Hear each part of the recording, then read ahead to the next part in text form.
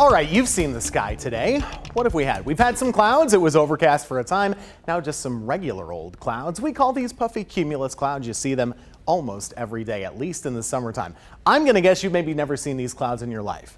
Let's take a look at them. These are clouds from Smith Mountain Lake, Virginia. That really did happen. Yes, this is a real picture from yesterday. Amy Hunter, the photographer, and she snapped them in the sky. Now, what do they look like to you? To me, they look like ocean waves, and that's going to be kind of how I describe this. You might not really think of it this way, but the atmosphere is a fluid. It behaves just the same way that the ocean does, and sometimes you can get these swirling motions to happen. The key to it in this case is the air is in two different layers layers. The layer above these clouds is less dense and moving more quickly. It's faster.